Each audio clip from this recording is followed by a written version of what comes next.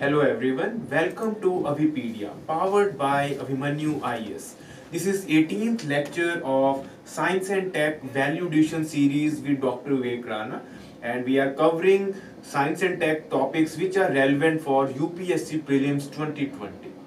So topic for today's lecture is from Health and Medicine section, Disease in News.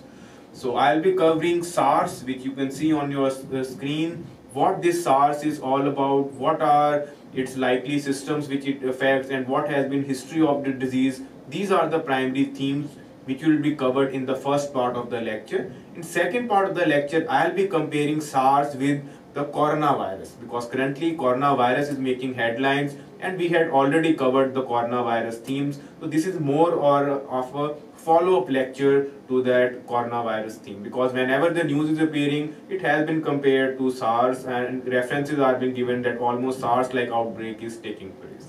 So we will be comparing what are the similarities and differences between the two and eventually a prelim question for a practice which can be uh, which can help you in assessing whether you are going or preparing in the right direction.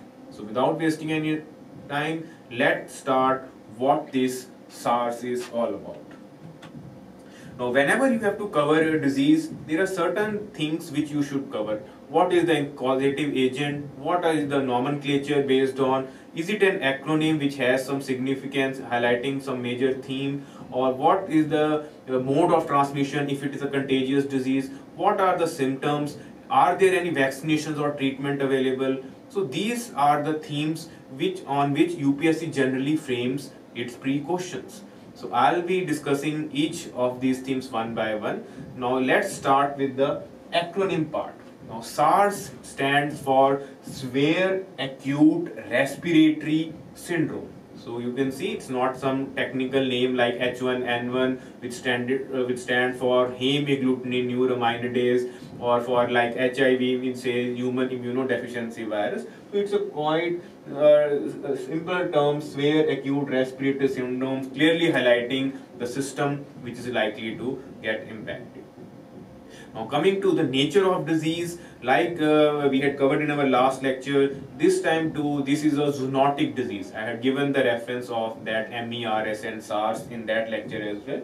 Zoonotic diseases, I am just repeating in case you have missed the last lecture, are the diseases which are transmitted from animals to humans. And once they are transmitted to humans, human to human transmission generally takes place. So this is uh, in the same category. And when was the last outbreak? It was long time back, almost 15 years back in 2003. And once again, the similarities it was in China. So this SARS create, uh, created a massive scare and there were large scale casualty across the globe. It assumed the scale of a pandemic and that's what uh, makes coronavirus on the similar paradigm, the way it is progressing. Now coming to the uh, system affected, it's a straightforward one. Lungs uh, are the organs which mainly get affected and respiratory system is the broadly system which you have to uh, pick up. Then after the system, mode of transmission, since it's a, infectious uh, and contagious disease, you should be thorough that it uh, transmits through droplet infection. Now droplet infection is an airborne infection in which when you are coughing or sneezing and another person is in vicinity. Is likely to catch that infection. Generally up to 3 feet uh, if a person is in uh, close uh, contact or in vicinity gets the infection. So this is the reason why once the uh, cases outbreak generally it assumes the scale of an epidemic. Hundreds and thousands of cases just uh, get infected in a short duration of time so we have precaution is the best uh, prevention of such diseases. And coming to symptoms, they are on obvious lines. Once again, there is a fever, there is running nose, there is coughing, sneezing, and lower respiratory tract problem. Eventually, in more serious cases, breathing problems and pneumonia-like symptoms develop, and eventually, which can result in death even. So, uh, this is what SARS is if you are hearing this lecture after coronavirus, you will see that this virus is almost on the same uh, uh, lines. And once again, it's a the virus which is causing is a SARS coronavirus.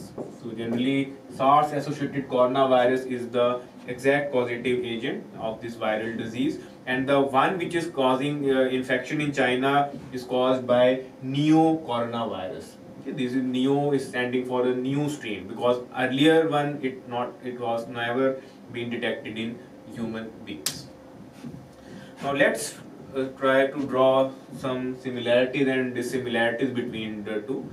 So I'll be discussing first the coronavirus and side by side the SARS theme which we are just covering in this lecture. So first of all, let's look back on what the are the origin of this virus is. Origin of coronavirus we had covered was in central China, Wuhan province to be precise. Whereas in case of SARS, the origin was in southeast China. Once again, it was Chinese province Guangdong, which borders Hong Kong. So once again, you could see there is a similarity in the origin site. Both were in China, both were in the prominent cities which are famous for animal trade. Now then comes the most important part, the transmission. How, uh, because since both are zoonotic diseases, is there any difference between the transmission? So, so far coronavirus still is a mysterious one. The likely uh, reports uh, which are clearly highlighting that origin is through bats which might have been transmitted through some intermediate agent because there are numerous other species which are there in that central China animal market. There are snakes, even one of the reports are even highlighting the snake one. So for the time being, you could say that bats appear to be once again the culprit in transmitting the disease to the humans. And once it has transmitted to humans, human to human transmission is taking place through droplet infection. Whereas in case of SARS, it's a clear-cut study uh, which has confirmed that the origin was in bats, but it was transmitted to humans through civet. Because once uh, the civet cat are the cat-like creatures, and these uh, are mainly uh, killed for the meat in China and there is a popular special meat which is prepared to civet cat, snake and other animal species. So uh, infected species once it uh, had a contact with the human being the cases just burned up. So this civet cat is an important one because it's an important species which is sometimes in news and from uh, its stool uh, some uh, heavy costly coffee is also uh, created. So this is what transmission of SARS is about. Then coming to number of cases, so, so we could compare the magnitude of problem which is undergoing uh, unveiling at the moment. So coronavirus has already crossed 3000 in numbers and majority of cases has been in China. Yes, there are now handful of cases in Japan, Thailand as well as other South Asian countries. SARS uh, was of much larger magnitude. 8,000 confirmed cases were reported and it affected 30 countries. So it's the real, it's the ideal example of uh, pandemic disease. Pandemic, you have to understand, whenever disease spreads through two or more countries or even continents, it is classified as pandemic. And the cases were global in nature, European, North America, South America, Asia, all continents were affected in the SARS 2003 outbreak.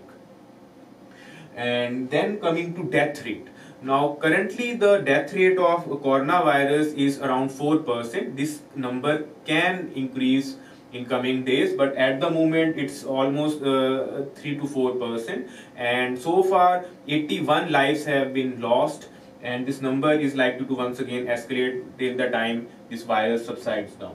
Whereas in case of SARS, the death rate was quite high. It was uh, almost 9 to 10 percent which makes it more fatal than the coronavirus and globally 700 lives were lost and 650 were in uh, China alone. So that shows that this name stood to the, uh, its nomenclature. It caused severe acute respiratory syndromes and eventually number large number of deaths were reported now coming to the current status, now countries are trying their best for quarantine, isolation measures.